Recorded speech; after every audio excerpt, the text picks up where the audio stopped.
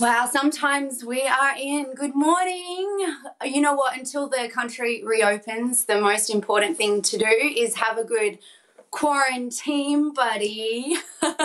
I'm hanging out in quarantine with Stevie. Oh, now you want to get down. Oh no, she just wants to cuddle. Um, she's my little buddy here. The rest of my family, as you may know, are in Australia because that's where I'm from. And I do feel really lucky to have been able to spend a little time with them before all of this craziness has been going on in the world.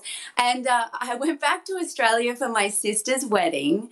It was pretty amazing. Before she could get married, though, me and the family had to do a little bit of work to get the space ready. I want to show you something.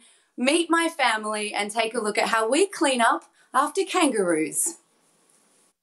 So it's a beautiful morning, the day of Victoria and Rick's marriage and we're about to start cleaning the kangaroo poo off the lawn. Oh, I touched one. Oh, yeah. That's my cousin Andrew. There we go. Don't mind him, he's from Canada.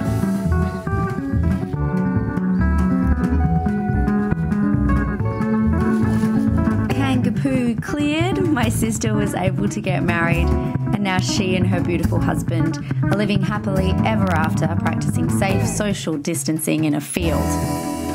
and if they think we're going to clean that for them, they've got another thing coming. Too much. You are too much, Mel. You know, a lot of us are cleaning our backyards. It's just not kangaroo poo. Uh, we have pets, as you can hear mine barking as we speak. But you know what, uh, Mel, we're just so happy that you have a beautiful family, and uh, it, it looked like it was a beautiful wedding. And what can I say? We are so happy to add you to our family now as well.